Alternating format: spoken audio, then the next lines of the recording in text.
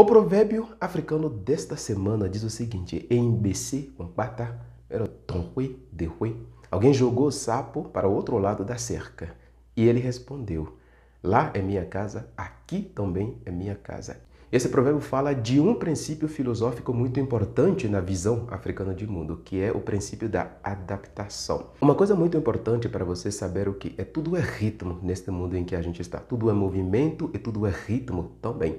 Não tem as estações do ano e você se adapta a elas. Da mesma forma é a sua vida. E qualquer que seja o espaço em que você se encontra, você será confrontado ou confrontada a determinados ritmos e movimentos e você precisa se adaptar adaptar. Isso aqui que nossa espécie humana faz. Esse é um exercício que você precisa fazer ao longo da sua vida. Você vai ser confrontado, confrontada com novas situações. E você vai se lembrar deste provérbio. Imbecil, mon pata, don hui, de hui.